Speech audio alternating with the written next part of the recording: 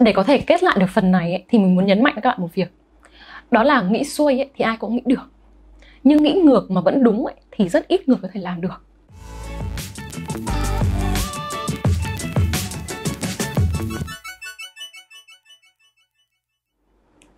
Chào các bạn, Chào mừng các bạn đã quay trở lại với kênh youtube của mình Triệu Nguyễn Huyền Trang.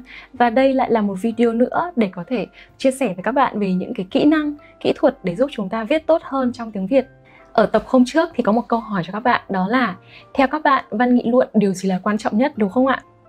Yếu tố để phân biệt được giữa văn nghị luận và các loại văn khác, văn kể, văn tả biểu cảm Đó chính là ở cái chất nghị luận này À, ở cách mà chúng ta lập luận và đưa ra quan điểm rồi thuyết phục người khác tôn trọng quan điểm đó của mình đưa dẫn chứng để à, lập luận đúng cách vững vàng và chi tiết về những cái điều mà chúng ta vừa mới nói đấy thế thì cái yếu tố lập luận à, cách mà chúng ta dẫn dắt vấn đề và phân tích cũng như là chứng minh vấn đề chính là điều tạo nên sự khác biệt và nó là cái linh hồn của bài văn nghị luận. Để có thể nghị luận được tốt thì không phải bàn cãi gì nữa rồi. Chúng ta sẽ cần phải có một hệ thống các luận điểm được tư duy một cách sâu sắc và logic chặt chẽ với nhau nếu như tư duy logic giúp các bạn có thể nghĩ được sâu sắc về vấn đề, đào sâu và tìm hiểu thật là kỹ về một vấn đề thôi, thì ngày hôm nay chúng ta sẽ dùng một loại tư duy nữa để phát triển vấn đề một cách đầy đủ hơn, đó là tư duy phản biện. À, cái tư duy phản biện ấy, thì có rất nhiều định nghĩa và theo mình thì nó khá là khó hiểu. Nhưng bản thân mình khi mà sử dụng ấy, thì mình có thể biết được là ờ, ok phản biện tức là gì? Mình không nghĩ theo lối mòn nữa mình không nghĩ giống như bình thường nữa mà mình lật ngược lại vấn đề và lật ngược như thế nào? Thế thì bây giờ mình và các bạn sẽ cùng đi phân tích một vài đề văn quen thuộc để xem xem là à nếu như áp dụng tư duy phản biện thì chúng ta có thể phản đề được ra làm sao? Chúng ta có thể lật lại vấn đề được như thế nào? Ok? Chẳng hạn bây giờ bạn muốn khuyên một ai đó là hãy chăm chỉ lên. Ok, vậy thì ở trong phần tư duy logic thì các bạn sẽ cần phải tìm được những lợi ích à, những cái giá trị của cái việc là chăm chỉ nó mang lại cho con người đúng không ạ? Thế nhưng chúng ta sẽ phải phản đầy bằng cách là đặt bản thân mình vào vị trí những người lười biếng. Tại sao người ta lại lười? Rõ ràng rồi chúng ta làm một cái công việc gì đấy bởi vì thấy được cái hiệu quả của nó. Đấy thế thì các bạn chăm chỉ bởi vì nhìn thấy được giá trị của sự chăm chỉ đấy giúp các bạn học giỏi hơn giúp các bạn à, làm việc tốt hơn và tạo nhiều những cái thành tích thành quả hơn và khiến cho con người của mình sẽ có nhiều trải nghiệm nhiều vốn sống thế nhưng với những người lười biếng thì làm sao? À, chúng ta hãy đặt mình vào những vị trí của họ để xem là tại sao họ lại lười. Có thể là bởi vì cái điều kiện sống của họ không có một cái uh, áp lực gì để khiến họ phải chăm chỉ hoặc là họ đã từng chăm chỉ nhưng mà cái kết quả nó mang lại à nó không có được như ý nên là họ bị nản lòng. Hoặc là à, họ gặp cái trì trệ về tinh thần này hoặc là về sức khỏe. À, tôi muốn học tốt tôi muốn chăm chỉ nhưng mà tôi hay bị ốm tôi hay phải đi vào viện ra viện.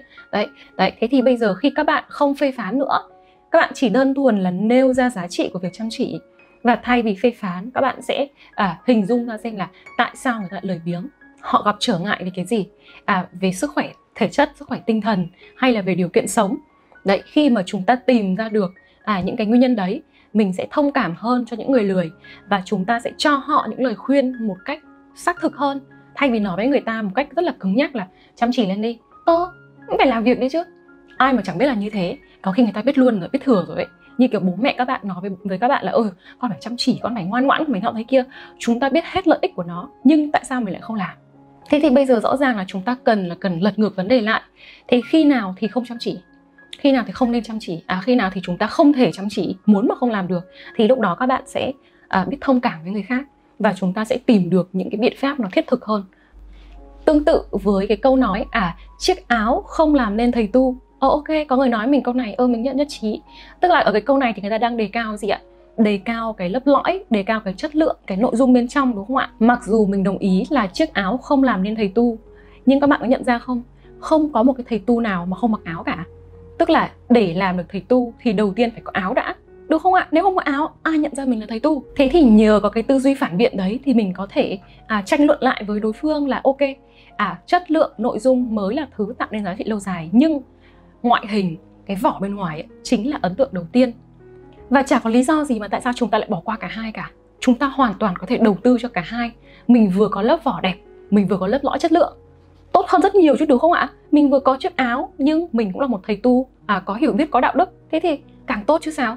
Nên là bây giờ thay vì là chúng ta à coi trọng lớp lõi nhưng coi thường lớp vỏ thì mình phải coi trọng cả hai. Tuy nhiên, lớp nào khó hơn thì mình sẽ đầu tư nhiều thời gian hơn. Ví dụ, chất lượng là khó, lớp lõi là khó, nội dung là khó, hình thức sẽ dễ hơn. Ok, vậy thì chúng ta phải dành nhiều thời gian, nhiều tâm huyết hơn cho cái lớp lõi của mình. Bây giờ mình sẽ cần phải xếp cái thứ tự ưu tiên, cái tầm quan trọng riêng của nó, cái nào cũng quan trọng nhưng nó sẽ khác nhau về cái à, cái mức độ thì bây giờ mình sẽ điều chỉnh lại để cái tâm huyết cái cái tâm sức cái thời gian của mình nó sẽ phù hợp với từng cái cái công việc đấy. Hoặc ở đây nếu là chủ đề hàng giả hàng nhái thì bình thường chúng ta sẽ nghe là ui những cái người bán hàng giả hàng nhái là những người à không có đức những người kiểu à, làm ăn chụp giật xong rồi là kiểu à, lợi dụng lòng tin của người khác để có thể làm những cái việc phi pháp ở trục lợi. Thế nhưng các bạn có bao giờ để ý không? Ai là người tiếp tay cho hàng giả hàng nhái? Thứ nhất đó là đến từ quản lý thị trường đến từ à, cái việc kiểm soát thế nếu như mà kiểm soát chặt chẽ thì làm gì có chuyện hàng giả hàng nhái đúng không?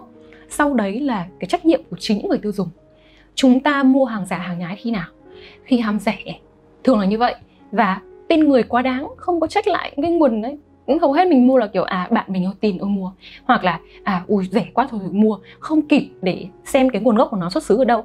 Đấy thế thì đừng có chỉ trách một người thôi. Đừng trách mỗi cái người bán hàng mà phải trách cả cơ quan chức năng và trách cả chính những người mua hàng. Cái người bán hàng họ không có bán bán cho không khí họ không có bán vào hư vô họ bán cho đối tượng nhất định. Và rõ ràng là trong quá trình mà lưu thông hàng hóa cái quá trình giao dịch ấy, thì có cái sự tác động à, trách nhiệm của rất nhiều người. Vì vậy chúng ta cần phải đặt vấn đề dưới nhiều góc độ khác nhau. Thậm chí là trong mối quan hệ cũng như vậy. Các bạn có thể là chơi cùng một bạn nào đấy các bạn yêu một anh chàng nào đấy thì xong rồi một ngày chia tay. À mình là người bị phản bội mình là người bị lừa lúc đầu thì cái việc là mình bị tổn thương, mình bị đau đớn thì sẽ khiến cho mình nghĩ là đó mới là người ở gây ra chuyện và mình sẽ đổ hết lỗi lên đầu người kia. Nhưng ít nhất phải một lần chúng ta nhìn lại bản thân và xem trách nhiệm của mình ở đâu, lỗi của mình ở đâu.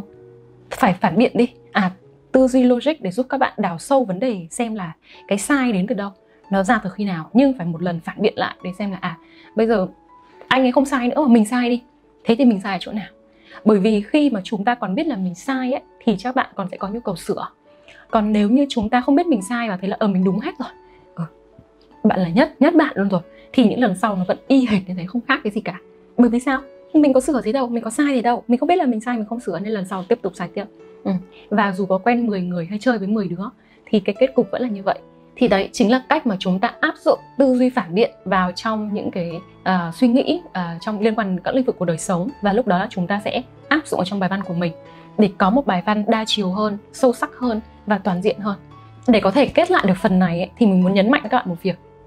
Đó là nghĩ xuôi ấy, thì ai cũng nghĩ được. Nhưng nghĩ ngược mà vẫn đúng ấy, thì rất ít người có thể làm được. Đấy, chúng ta cần phải có cái góc nhìn đa chiều. Các bạn cần phải có cái sự bao dung cần phải có cái sự khách quan nhất định thì chúng ta mới có thể nhìn bao quát được vấn đề và tìm ra được những khía cạnh khác. Đấy, thay đổi góc độ một cái là nhìn được khía cạnh khác luôn. Được chưa? Đấy, thế nên là khi mà các bạn muốn làm một cái bài gì đấy, muốn phân tích một cái đề gì đấy thì phải hết sức chú ý vào cái góc nhìn. Góc nhìn thay đổi tất cả. Nếu các bạn đang phân tích về chủ đề bạo lực học đường, chúng ta đi phê phán những cái người mà đánh bạn, đánh thầy cô, đúng không ạ? Nhưng phải một lần đặt một cái góc nhìn khác đó là tại sao những học sinh bình thường lại trở thành những kẻ ưa bạo lực?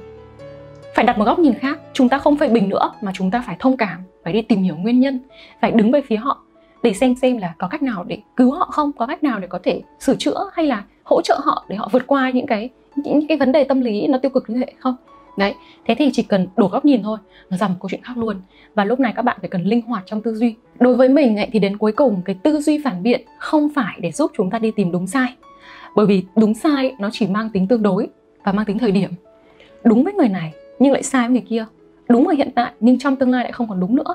Nên là mình sẽ không dùng tư duy phản biện để đi quy trách nhiệm cho bất cứ một ai cả. Mình dùng tư duy phản biện để nhìn đa chiều hơn một vấn đề và từ đó có sự thông cảm với người khác.